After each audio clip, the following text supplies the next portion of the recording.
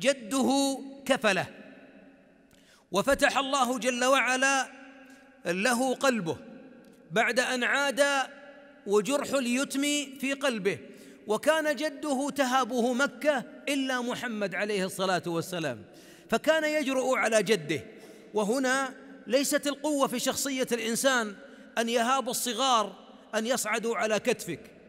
الصغير إذا ما سحب غترتك وبال في حجرك وسكب نوعا من الطعام عليك ولربما لطمك ولربما صرخ في وجهك ولربما لطخ ما بقي في يديه من الحلوى في ثوبك ولربما شد لحيتك. إذا ما جرؤ اليتيم عليك هذه الجرأة ففتش عن قلب فليس في صدرك إلا جلد جلمود صخر.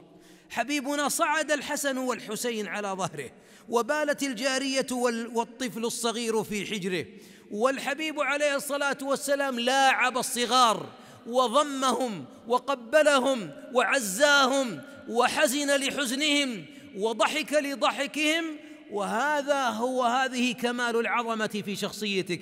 أما اليتيم فشيء آخر. تحتاج إلى أن تخفض جناح الذل له وتحتاج أن تفتح الصدر له وتحتاج إلى أن ترحمه بحزم لأن الرحمة بلا حزم تفسد أخلاق اليتيم. الحبيب عندما كان جده لاحظوا يرسله.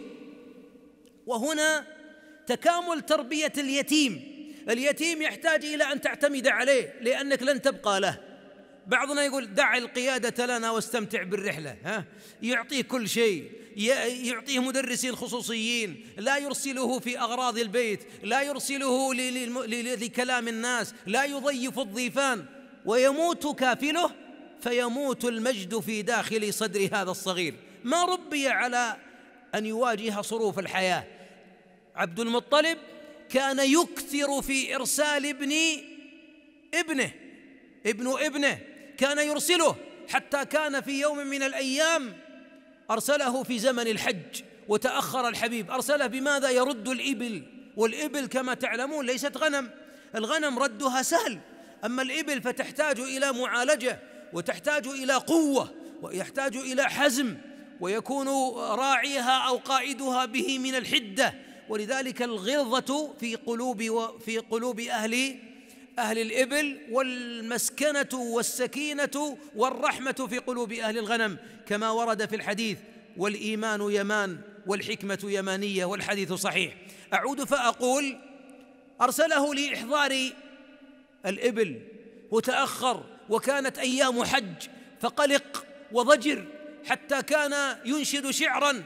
يسأل الغادين والرائحين أرأيتم محمدا؟ وأشغله ابن ابنه عن هموم الدنيا وعن تدبير الحج فإنه سيد مكة صاحب السقاية والرفادة والحجابة.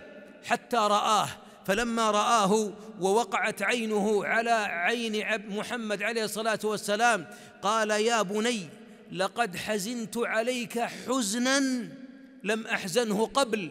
ثم قال لا تفارقني يا محمد أبدا. تحتاج إلى إلى رحمة. كلمات ترمم شعث القلوب المتصحرة ولا المتصدعة.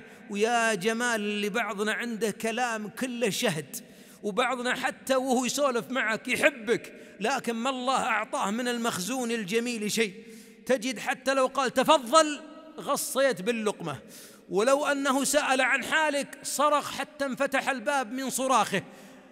إن عذوبة الكلمات هداية. ولذلك الله هدى أهل الجنة لها فقال الله وهدوا إلى الطيب من القول. والإنسان يستطيع أن يهدي نفسه بترويض لسانه على المقال الجميل. وأجمل من تقول له الكلمات الجميلة المفعمة بالروح والأبوة. يتيم لوعته الدنيا. ولذلك قال لا تفارقني. لكن قال لا تفارقني بعد أن حزن عليه. لكن قبلها كان يرسله.